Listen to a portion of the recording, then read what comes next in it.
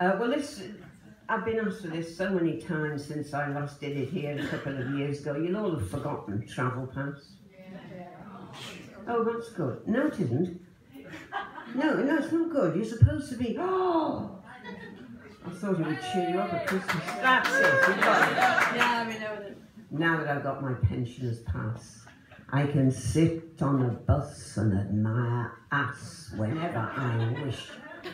Retired, I intend to become a connoisseur of the masculine bunk. Double deckers are what I prefer, getting that seat at the foot of the stair that the highly considerate powers that be have designated for people like me. Modern designers have helped as well, producing clothes that enhance the swell and anatomical curve and dip of a flattened tum or a rounded hip. And then so few wear long coats today, one can really study the stretch and sway as the helpful driver throws them around a quite unnecessary bend or tightens hamstrings with a jerk of sudden speed or sudden brake. I heard a giggle over there. It's just reminded me two of my sons are listening to this. I think I'll forget page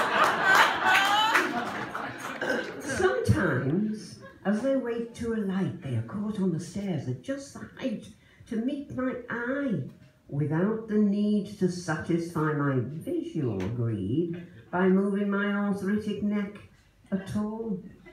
Those sideways seats at the front. Oh, hang on, I missed the line. Oh, God, I'm always doing that. I, I must really try and remember them. Uh, all right, uh, about moving my arthritic neck at all. But then the single deck will do. Those sideways seats at the front that nobody ever seems to want give a vista down the central aisle of the coming and going of the male and young. Often, too, they stand beside the driver, close to hand.